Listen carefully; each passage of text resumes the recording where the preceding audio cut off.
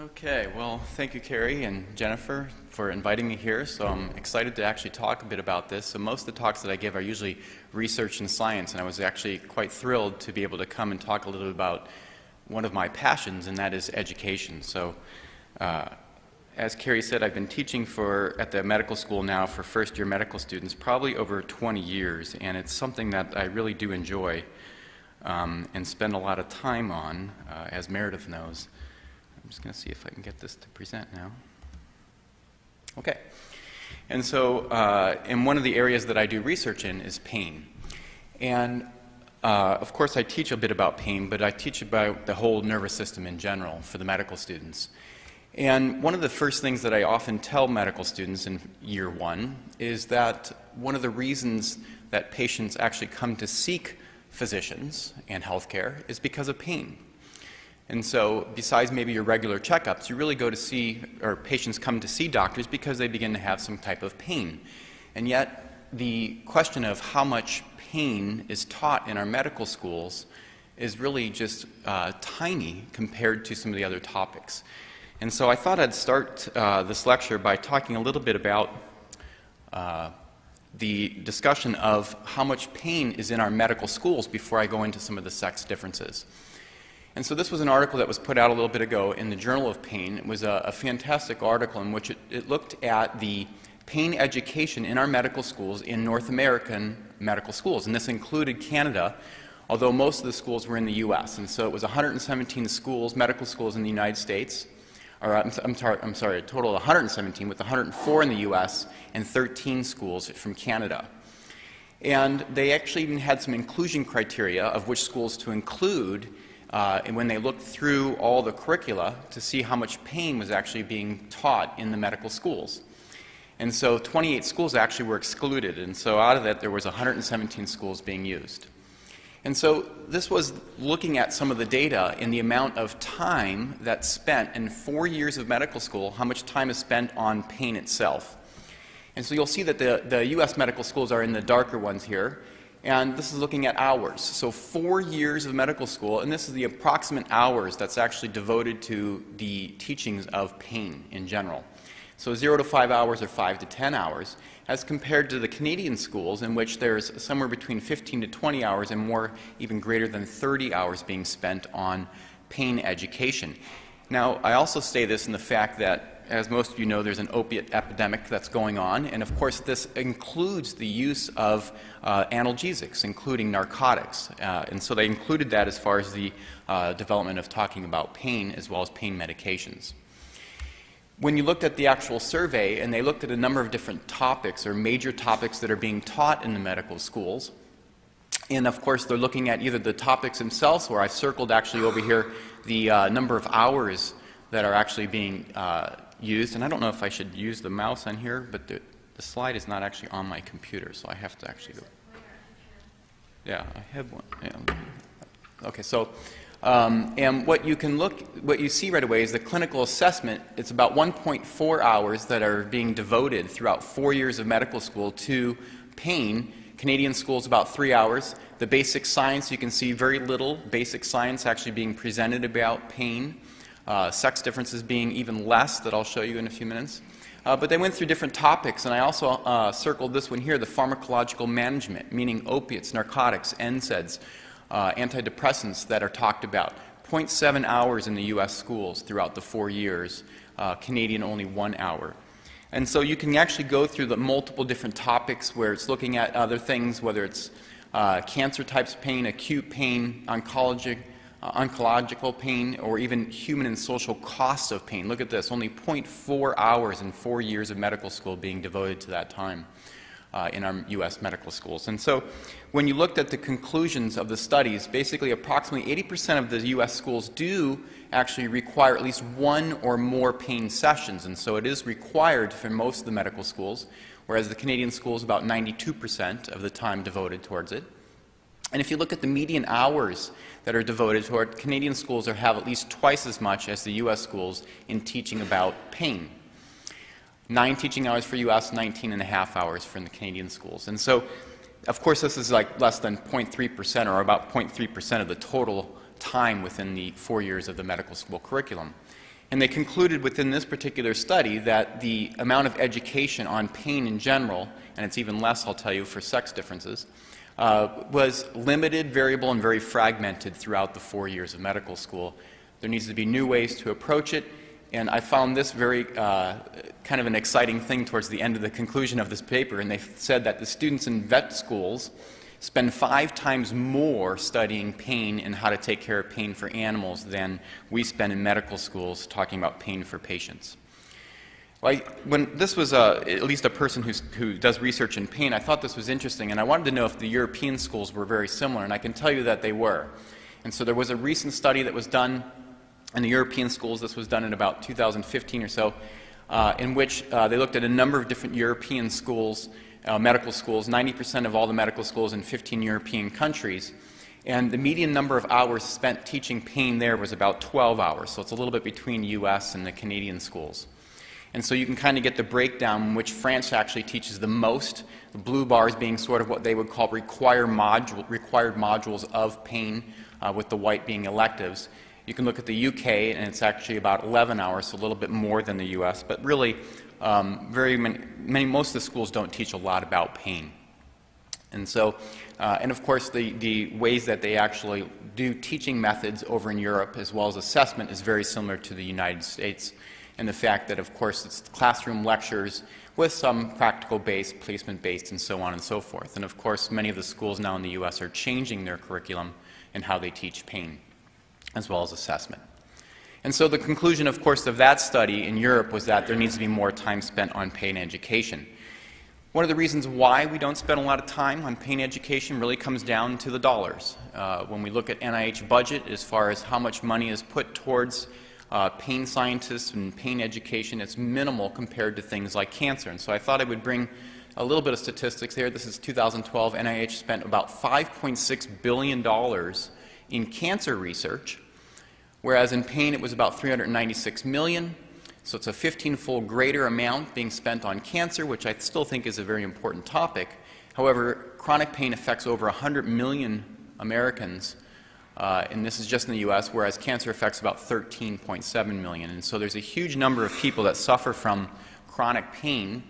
Uh, as most of you know, we just don't have good medications for that, and so I brought a little bit of statistics on sex differences uh, and, and narcotics as well. Um, but we don't have good medications even for chronic pain.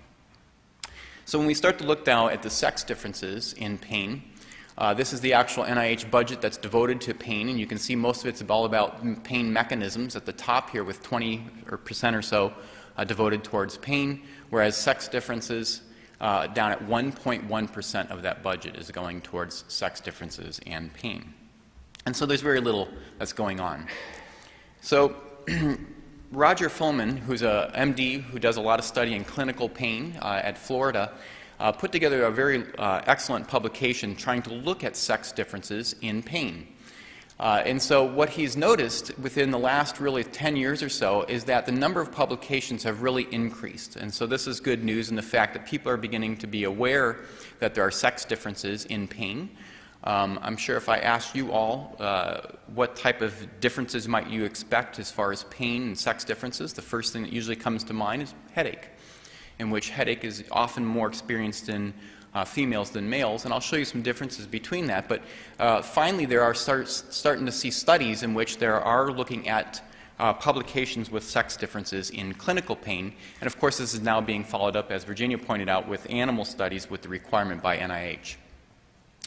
This, coming out of that study, starts to look at the prevalence of chronic pain, and it was nice in the fact that they did break it down between females and males. And so, uh, in a number of different countries, and so we have the United States here with 20% uh, chronic pain being suffered more by females as compared to about 18% males. Uh, and you can see this trend across many different countries. And so it's well known now that chronic pain may actually be suffered more by females than males, but of course, this also comes down to the idea of how you report pain. Um, again, the way that pain's reported is usually based off some kind of scale 0 to 10, 0 no pain, 10 the worst pain ever. Uh, and believe it or not, it's sort of a psychological test in the fact of who will report having more pain, males or females. And so it's a, it's a great question that, of course, people in the pain field uh, often, uh, often worry about. how it's reported. And of course, often that can be the idea that males won't report pain as much as females. Now, this kind of got messed up here. so this, uh, this was actually looking at pain syndromes and some divisions between and, uh, female and male ratio uh, between the different types of pain, and I've listed them here, but now this has come to an absolute mess on this thing. Um, but anyway, so the uh, fibromyalgia is one that's more often reported in females than males. Uh, six to one ratio as far as female to male. Irritable bowel syndrome, again, more often in female than male, two to one ratio. Uh, interstitial cystitis or painful bladder, nine times more prevalent in females than males. Migraine, as I said, and, and headache in general, but definitely migraine for sure, three to four times more likely in females than males, uh, and headaches and so on and so forth. And then, of course, we also have a number of different categories in which females suffer from that uh, are female specific uh, types of pain, whether it's chronic pelvic pain, uh, vulvodynia, or a number of different other types of actual pain that's suffered only by females. And so the categories of chronic pain tend to be much higher in females than males. Again, many of these studies also showed that the comorbidity, which is like right on top of the sucker, tend to be higher in things like stress, anxiety, and uh, or, uh, uh, depression, in which chronic pain can lead depression, and we know that it often does. So one of the things that I do in the lab is uh, looked at sex differences as far as migraine or headache. And again, most of the studies that I have done is looking at animals and trying to understand uh, is this something that's driven by, let's say, estrogen or uh, differences as far as estrogen receptors? And so uh, the migraine is a very interesting type of chronic pain in the fact that many, many people suffer from either migraine or headache. Uh, and it's unique in the fact that there's no pathology. So if you think about a headache, it comes on, and especially migraine, it can be devastating.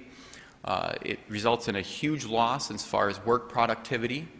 And nobody knows exactly what's happening or what causes migraines or headaches. There's no real pathology. It comes on, it's there for a while, it's extremely painful, and then eventually things resolve as far as a headache, and nobody can figure out what's causing the headache, why the headache's there, has there been any changes, so on and so forth. And three of, out of four migraine sufferers typically are uh, female. And so this was, uh, again, out of that study with Roger, where he also asked the question about migraine headache. And again, you can look at the prevalence of migraine headache across a number of different countries, including the U.S. And again, you'll see more likely occurring in females than males. And so, at least for educational purpose, uh, it's something that should be taught in medical schools that there are chronic pains that uh, females suffer from more than uh, males.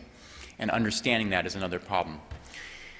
The, they're also doing imaging now. Uh, this is an interesting study, I thought, and it's only the beginning of several new in, uh, imaging studies that I'll also uh, uh, share with you. In the fact of trying to figure out is the human brain between females and males different when they suffer from things like headache or other types of chronic pain? And so this was one of the first studies, and I think there's uh, better studies that are coming along. But again, it was in clinical pain. They're looking at cluster headaches and they're looking between females and males, and this was actually two different studies. So there's the Rozen and Fishman study versus the uh, Bahra study. And they didn't show that there really was a difference between whether the headaches were on the left side or the right side. Uh, typically, they are unilateral. Uh, there's very little bilateral activity. But what they did show was some statistics or statistical differences between males and females as far as where the pain would show up. And so often, even though uh, it's usually typically around the eye, we call periorbital or just behind the eye, it tends to be higher in males around the periorbital area, and for females, more towards the mandibular joint. Uh, so in areas of the cheek or the jaw tend to have uh, areas of higher amounts of pain. They went on to look at age and onset. So, as Virginia said, it's nice to actually parcel these things out between male and female as well as age. And so they saw that uh, the females uh, at younger ages have more cluster headaches. Now, they did this with cluster headache versus migraine. Uh, but they showed that younger females had more cluster headaches than males. But then it kind of reversed, at least in this particular study, in which males at the age of 20 to 30 had more cluster headaches than females, and then sort of balanced out after that. They also looked at the different types of associated symptoms because we know that in headaches, uh, there are different things that come on, and they found that in females you tend to have more nausea and phonophobia, meaning that they don't like the loud noises, whereas in male they tend to have more rhinorrhea and lacrimation. Uh, again, with no real great significant difference uh, between those different ones. So, uh, again, different types of symptoms that can occur. What they did find significance was uh, the triggers, and I found this very interesting to look at, again, with uh, what causes their headaches. And you'll see for males, the first three are all alcohol uh, related. So, beer, red wine, and hard liquor, causing more of the trigger for the actual headache. Whereas in females, you'll see it sort of uh, comes to the area of weather changes, smells, and bright lights, uh, listen, uh, flashing lights, or even TV. And so, uh, again, uh, I love these types of studies where they are starting to look at not only differences in ages and migraines and triggers, but uh, what's actually causing these things. And finally, they've also looked at comorbidities or other types of things that might happen with males and females that suffer from cluster headaches. Uh, and right away you can see some differences. So uh, here females again suffering more also with asthma, restless leg, whereas and uh, a little bit more depression with females in cluster headaches, whereas in males you'll see with sleep apnea. And so uh, whether one's a cause or another, that's uh, hard to say there. Some of our own studies looking at, again, migraine. This is actual animal studies. So we've started to, to ask the question, are there differences between males and females? Uh, you might ask, how in the heck do we ever measure pain in an animal uh, that's having a migraine or a headache? Uh, we have different ways to actually induce headaches or migraines. Uh, we can give KCL or inflammatory factors directly onto the meninges. Uh, and believe it or not, the animal will have multiple things that will occur. First, it'll be a cortical spreading depression, which is very similar to an aura. So, if anybody in the audience here has had migraines, you know what an aura is that typically comes on prior to your migraine. Uh, and you can actually record that, uh, just as we do with like an EEG in a human, we do the same with a rat, and you can see that. Uh, but they also have what's very common uh, in uh, humans as well, is they have what we call sensitivity around the face, especially around the eye and the jaw area. So they have sort of this periorbital types of sensitivity, and you can measure that.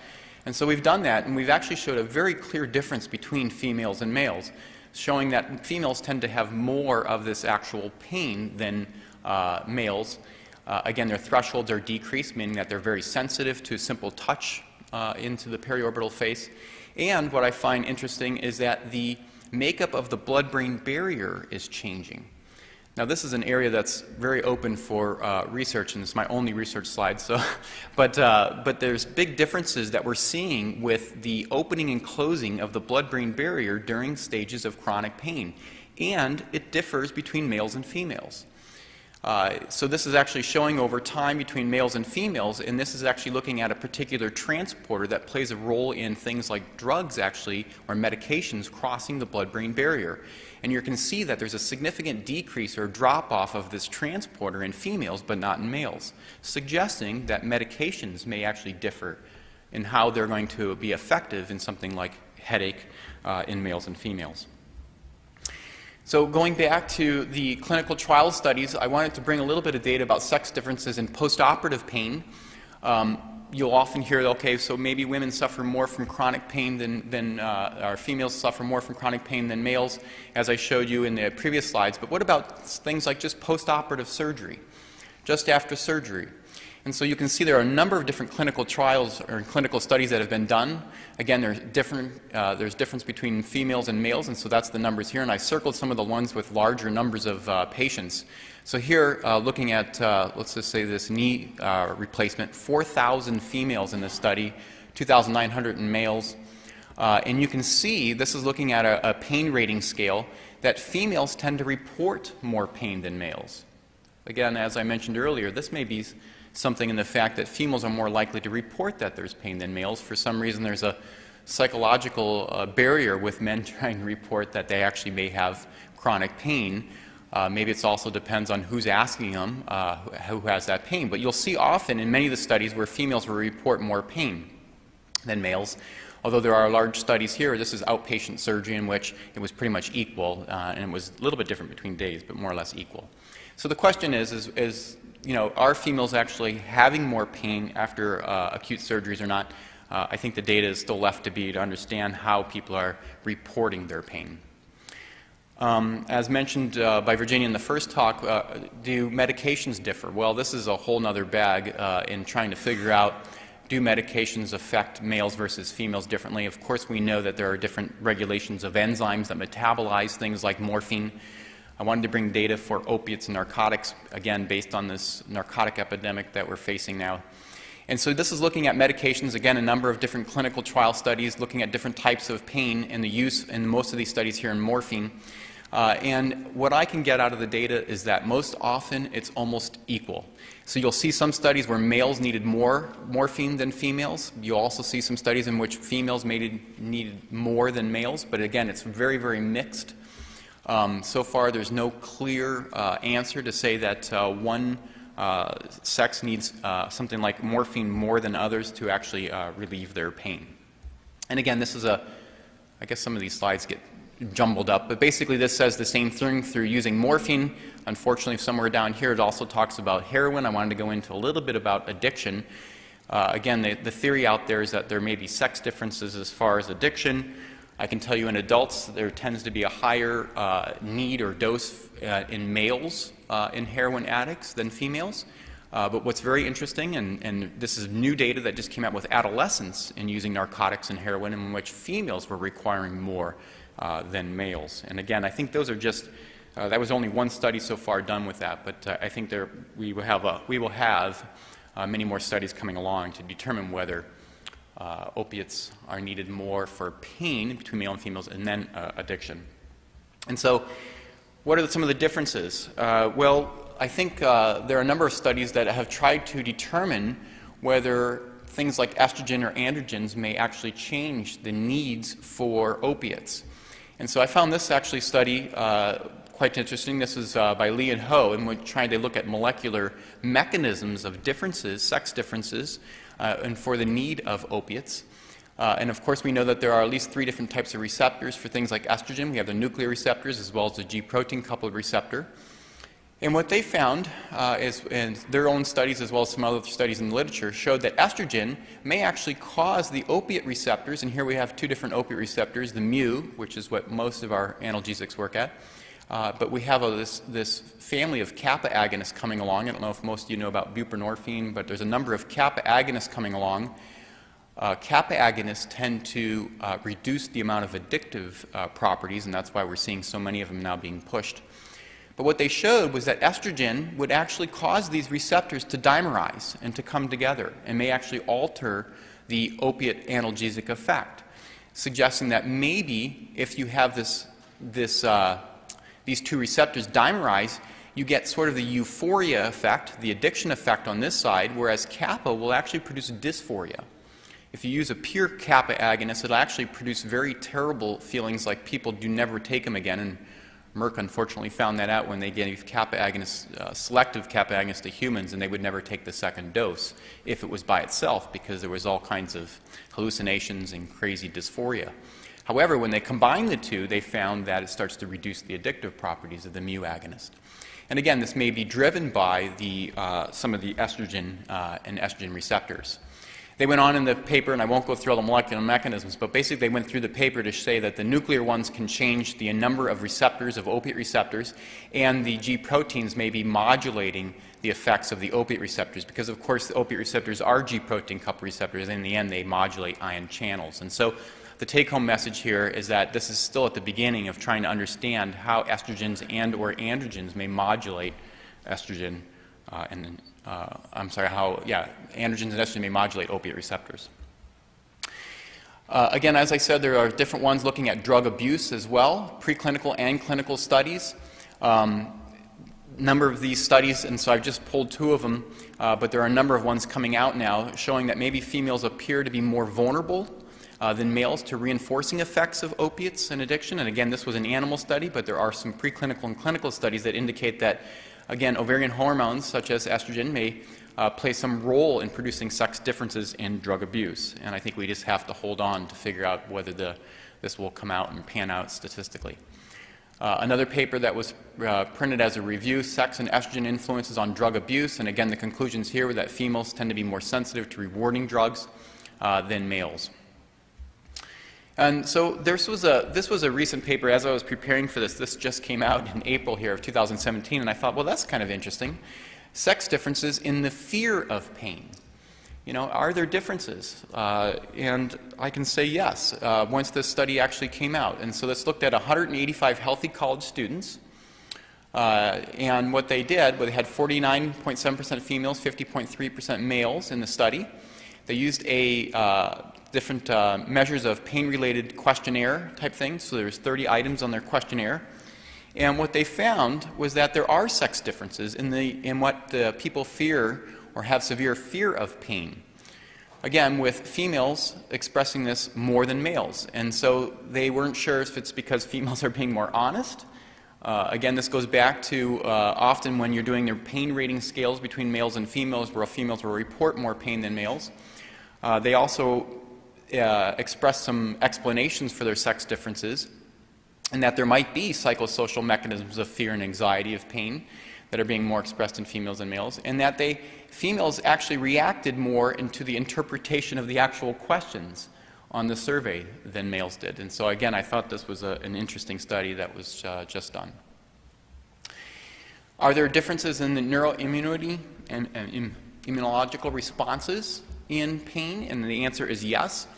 If you're interested in sex uh, based differences in general with the nervous system, I highly recommend this journal. It's completely devoted to it.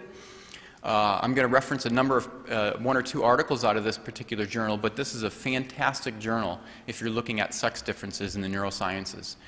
Um, this is a one that was done by Jeff Mogil, probably one of the leaders as far as looking at sex differences in pain.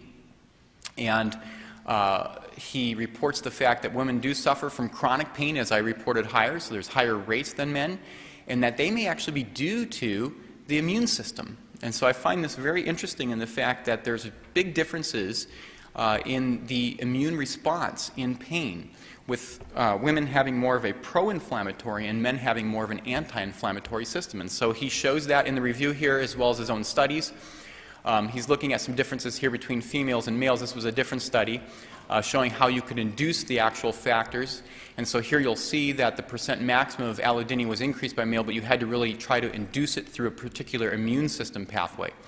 Uh, but what he concludes is this wonderful figure out of that paper that I was just uh, talking about in the Journal of Neuroscience, in which he claims that estrogen may be stimulating more of the macrophages and more of what we call sort of this uh, pro inflammatory pathway whereas the androgens may be actually activating more of the anti-inflammatory pathways, like IL-10s. And so they find this that goes on both systemically as well as in the CNS, and that this may be some of the reasons that drive more chronic pain uh, in females, because it's the inflammatory factors that, of course, go up during acute pain, but they may actually convert acute pain to chronic pain, uh, driving it towards that.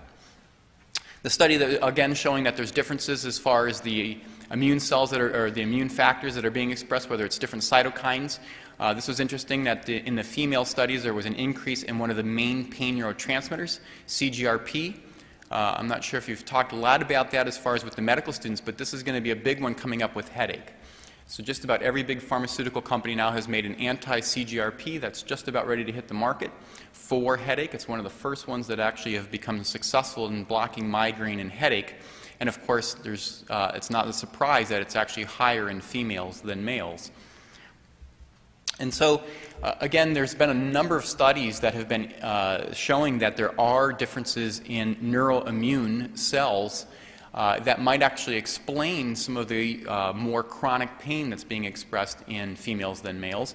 And so you'll see that uh, most often females are expressing certain types of cytokines and chemokines or activating certain types of T cells uh, that are producing more inflammatory types of pain. And so the conclusion of this particular study is that there's ample evidence for a role of the immune system in modulating the transition to and maintenance of chronic pain.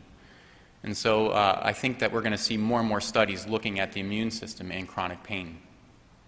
There is good support that the sex hormones are shifting the activity of the immune system, in which women with higher estrogen levels and low testosterone levels are predispositioned for greater pro inflammatory factors, and that men with higher testosterone tend to push things towards the anti inflammatory pathway. We then started in, in, within that same journal, that journal neuroscience, you'll start to see that there's imaging. Now, imaging is really difficult, of course, because, uh, and I could show you all kinds of different uh, fMRI things, but it's hard to actually then pick out are there different areas in the brains between males and females that are being activated in chronic pain. Um, but I think as methods get better as far as detailing uh, the the different areas and, and, getting more to statistically uh, saying, yes, it's this particular nuclei that's activated more in females and males. But I, I, love the fact that they're doing these studies, they're looking at sex differences, and right away you start to see some of those differences in ones that are more often reported in females than males, and things like IBS and headache. And so I think we're still far out from trying to determine the exact areas uh, and of course, they start putting these cluster maps together in which there's things that are common in fe uh, females versus males, like fibromyalgia, IBS, and migraine, trying to determine what areas of the brain are activated in uh, females versus males, and uh, are there ways to better treat then chronic pain. Uh, this is a, an actual study that uh, started to look at that, and I find it interesting. I won't go through all the details, but if you look at visceral pain, and, and the methods here now are fMRI, PET scanning, uh, but what you see right away is that more often an area like the insula of the brain. Now, this is an area that's deep within the cortex, very responsible. We think of it as our gut brain, so it's the gustatory cortex, but it's also right where pain tends to go. And it tends to be more lit up, as they'll say, or more activated in males versus females. Whereas in that same study, they showed that female had more deactivation of the amygdala, the area that we think of as more emotion within the brain. And it was more of a deactivation of that area as compared to males. And so, again, these are sort of new studies that are coming out with trying to determine are there sex differences within the brain in patients who suffer from uh, chronic pain, whether it's visceral pain or other types of pain. And I, I find these uh, studies fascinating and something I think that we'll be sharing with our med students in the next five to ten years. Uh, as I said, this journal has a number of different excellent papers in there. So this is understanding the broad influence of sex hormones and sex differences in the brain. And so I'm going to finish with just a, a little bit out of this paper. I find it interesting. They've actually gone through a number of different categories, including pain. But let me just show you one image that I find that, uh, again, we're, we're just at the very tip of understanding the sex differences in, in activity in the brain. But I love this figure. I don't know if you've used this with your med students or not, but this is demonstrating uh, taking a nice pyramidal cell right out of the hippocampus, and we think that it occurs, of course, in learning and memory, which I know now that this also plays a big role in pain and understanding what causes pain. Uh, but they put on estrogen. And so this is naive without estrogen, and you can see one of the dendrites with all the spines. You put on estrogen, and they say basically within the 24 hours, look at this sucker. It's like a tree that just grew with all its branches during the springtime. So you see all kinds of uh, synapses or, um, or budding of different uh, what they call spines onto the actual dendrite. And then you continue to wait 72 hours or later, and you can see that it goes back to normal, suggesting that estrogen is really causing a significant change within that dendritic tree. And again, supporting the idea, and this didn't, of course, uh, uh, did not occur with uh, androgens, they have a actual conclusion within that particular paper looking at the differences between estrogen receptors, whether it's nuclear membrane versus the androgen receptors, and it's a fantastic study in the idea that estrogen receptors are on different types of neurons. And so they're, they're concluding that the nuclear estrogen receptors are loaded on GABAergic neurons, which we know are all over within the brain, whereas the androgen receptors are not. The androgen receptors, which tend to be more of a nuclear receptor on the pyramidal cell itself within the hippocampus, whereas the uh, different types of membrane receptors for estrogen uh, are out here on the dendritic trees, and they're also uh, controlling acetylcholine's input into that hippocampus. And so, again, I think we're just at the beginning of understanding sex differences and the receptors that are located in the central nervous system that play a different role in things like learning and memory or chronic pain. And so, in summary, I think that our medical schools really lack uh, understanding and, and, and hours of teachings as far as in the areas of chronic pain and analgesics. Uh, I think that's uh, very obvious now when you ask fourth year med students. Uh, I often do this, and I even teach in, the, uh, in CME as well as in all the resident programs as far as analgesics. And I always feel like at least a first year resident should know how morphine works, and I'm always just shocked at uh, the fact that these are doctors that are in the process of prescribing these things but have no clue uh, and how these medications work or how pain works. And so I think there's a big need as Virginia pointed out, that we continue the education in year one all the way through residency and into fellowship. Pain research, uh, especially in sex differences, is really completely underfunded, and one of the reasons why we have uh, probably less people teaching about pain. There are differences between males and females, there's no doubt. I've showed you some evidence for that. There are differences between males and females as far as the analgesic efficacy, possibly. Um, there's still uh, lots to be said about here and whether it's analgesic efficacy and or addiction probabilities, although we'll know in the future here. There, there may be sex differences as far as the fear of pain, as well as the comorbidities that occur with pain. Sex differences in the neuroimmune system, and I find this one very exciting in the fact that there are differences, uh, and a number of people have been looking at changes in the immune system with sex differences that then relate to uh, things becoming chronic pain, and maybe why we have more females suffering from chronic pain than males. There are sex differences in the areas of the CNS that produce the pain, and then finally there are differences as far as the estrogen and androgen receptors being located on neurons and may play a role in that. There are a number of different other uh, things that, of course, can come up for discussion because I think understanding the challenges in, in, researching sex differences apply to not only pain but in the nervous system as well as many of the different fields that uh, you guys are all familiar with. So I won't go through all those. Uh, but there are a number of different challenges. And so with that, uh, I thank you for your attention and we'll answer any questions.